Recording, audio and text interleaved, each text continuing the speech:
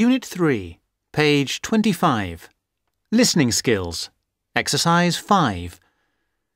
You will hear a conversation between a customer and a shop assistant. You will see that there is an example which has been done for you. On this occasion only, the conversation relating to this will be played first. Good morning, madam. Can I help you? Yes, please. I bought this bread making machine from you quite a while ago, and it doesn't work. I see. That's unusual. These bread makers are usually very reliable. You didn't overfill it, did you, or put too much water in the mix? Those are two reasons for malfunction we often hear of. No, certainly not. I had it working for quite a while, and then it stopped working. It doesn't do anything now. I see. That sounds like a fault in the machine. Yes. I wonder if you can do anything about it for me. Well, that depends. If it is inside the guarantee period, we can help you. Otherwise, it will be more difficult. The assistant says it depends on whether it's inside the guarantee period. So, guarantee period is written in the space. Now we shall begin. You should answer the questions as you listen because you will not hear the recording a second time. Listen carefully and answer questions 1 to 5. Good morning, madam. Can I help you? Yes, please. I bought this bread making machine from you quite a while ago, and it doesn't work. I see. That's unusual. These bread makers are usually very reliable. You didn't overfill it, did you, or put too much water in the mix? Those are two reasons for malfunction we often hear of. No, certainly not. I had it working for quite a while, and then it stopped working. It doesn't do anything now. I see. That sounds like a fault in the machine. Yes. I wonder if you can do anything about it for me. Well, that depends. If it is inside the guarantee period, we can help you. Otherwise, it will be more difficult. Let me see. I have the receipt here. I bought it in, uh, it was some time ago. Uh, the receipt says in February last year. February. Well, unfortunately, that means it is outside the warranty period. Oh. In that case, I'll get you a form which you can fill in and we'll see what we can do. Well, what can you do, do you think? Well, as I say, if you fill in this form, we can send away the bread maker to be mended. It goes off to a repair centre. Oh, good. Uh, what happens then? Then we don't get an exact costing, but we will get back an estimate of how much it will cost and how long it will take. I see. And do you think it'll be expensive? Well, it won't be cheap. There will be labour and parts to think about, and also the postage and packing costs. And we don't know how much they will be? Not yet. Hmm. But when you get the estimate, you've got two options, obviously. If you agree, you can go ahead. Or if you don't, you can say, no, it's too expensive. It's your decision entirely whether you agree. Mm. And if I go ahead? Then we arrange the repair. We don't have much stockroom, so when it is done, what we'll have to do is arrange a time for you to collect it from us. All right, that's what I'll do. Just give me the receipt. Here you are. Just a minute, madam. I, I thought you said you bought the bread maker in February. That's right. Uh, here is the date 2 1206. I think there's some mistake. In the UK, 21206 is the 2nd of December 2006. Oh, of course. How stupid of me. Of course it is. So it's inside the warranty period. Oh, great. That's right. That's much easier. So, what can you do now? Very simple. You fill in this form, we replace the machine, and return it to your home address within three days. Oh, well, that's excellent. Unit 3, page 25. Listening skills. Exercise 6. Now listen and answer questions 6 to 10. Now, let me have your details. Certainly. Now, this is a Gleeware Bread Maker 3. Model number? Uh, I have it here 217 217 980 980. 345. Thank you. Now, where did you buy it? Was it here? Uh, no, it was in your shop in Blue Water. I see. Uh, Blue Water. Now, date bought, uh, 2 12 06. Now, can I have your name? Yes, it's Yonge. J.H. Yonge. That's. That's spelled Y O N G E. That's Yonge. I see. And your address? 15 Capercaillie Gardens, Aberdeen. Uh, I should know this. Can you tell me?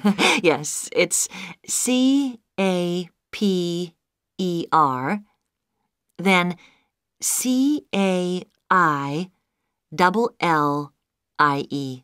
Sorry, could you say that again? Sure. C A P E R C A I double L I E. and gardens as in gardens. Yes. Good. And the postcode? AD 22 4SC. Thank you. And what would be a convenient time of day to deliver the replacement bread maker? Uh, morning is best, if that's all right. That's fine. So it should be with you on Monday, madam. Oh, good. Thank you very much. Bye. Goodbye, madam. Unit 3, page 27. Speaking skills. Exercise 5. Speaker 1. I suppose that the main difference is that it's set up to be a lot more convenient. It's easy to go and park up at a supermarket and get all your shopping in one go. I know a lot of people don't approve of that. Nevertheless, from my point of view, it's a really good thing. I can save time. Speaker 2. To my mind, we worry far too much these days about what things are wrapped in. It's all about marketing, really.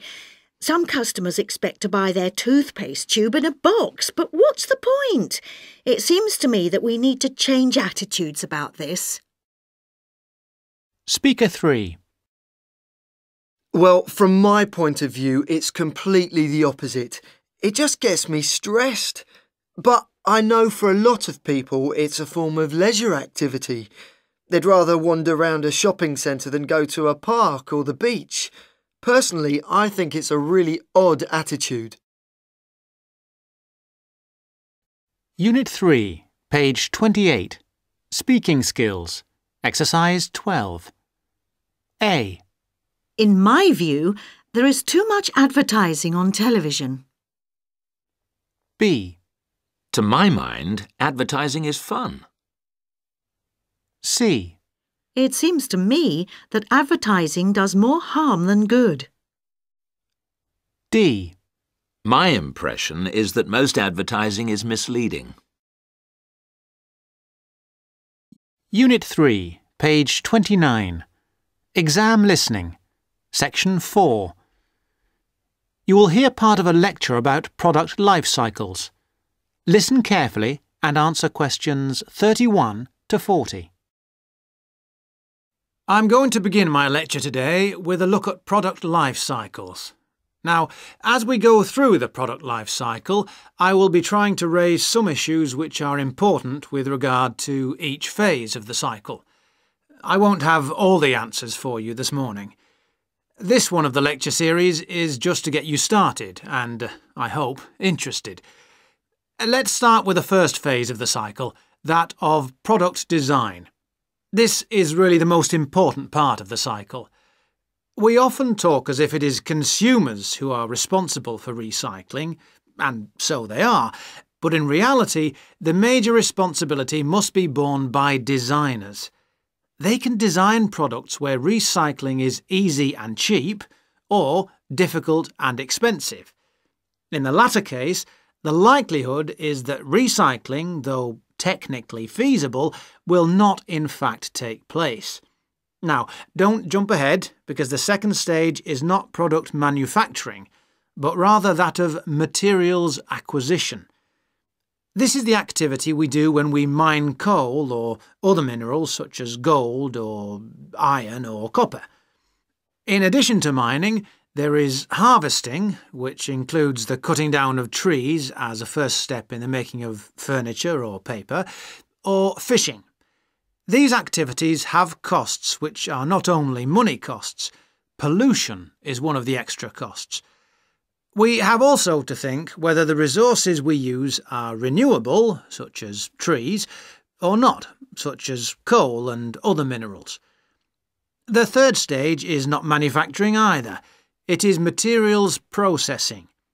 This is where we take the raw materials and use energy to change them into a form that can be used in manufacturing. Uh, for example, trees must be turned into paper or oil into plastic. The cotton plants that grow in the fields must be turned into cloth. All of these activities require the use of chemical processes, and, as with all chemical processes, waste is produced, often of a dangerous kind. And now we come to the manufacturing stage. This is usually the most expensive in terms of cost and energy and waste. The wastes are often those that contribute to global climate change.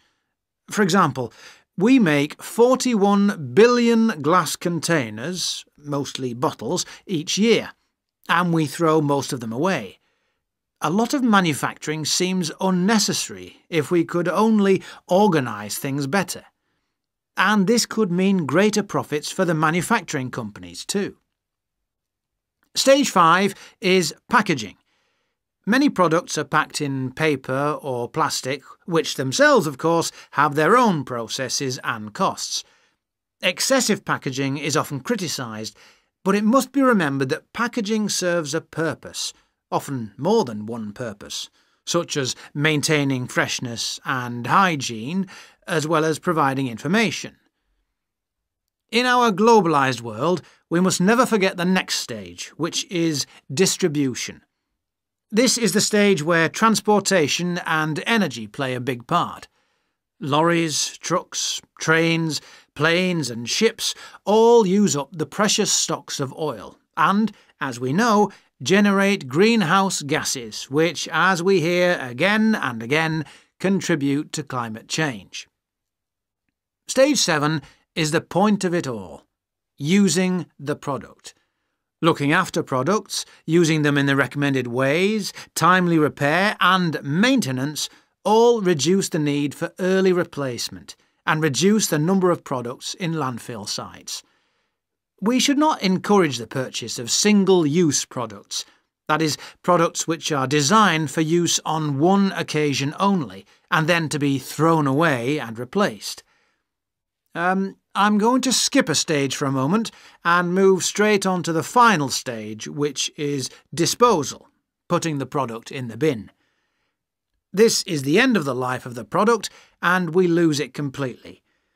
It may have only a little value, but it does have a value even at this stage of its life, even in fact when it's actually in the landfill site.